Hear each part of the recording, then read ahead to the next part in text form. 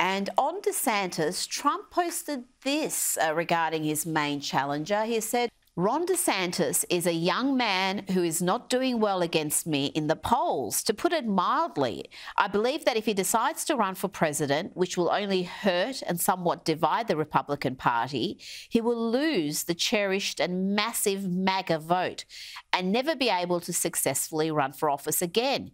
If he remains governor, which is what Florida voters assumed, it would be a whole different story. Just saying but who knows?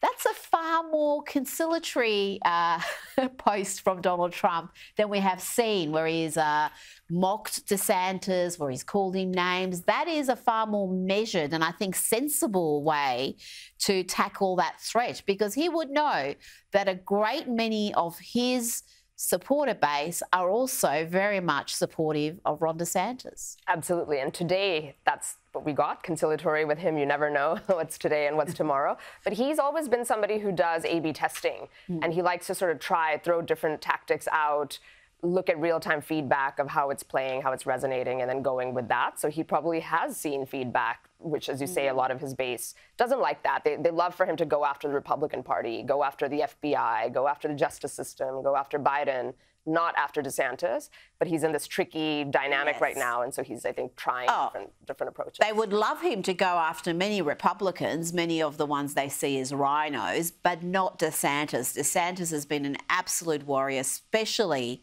throughout COVID, where he kept Florida open, where he has fought back against all the culture 100%. wars.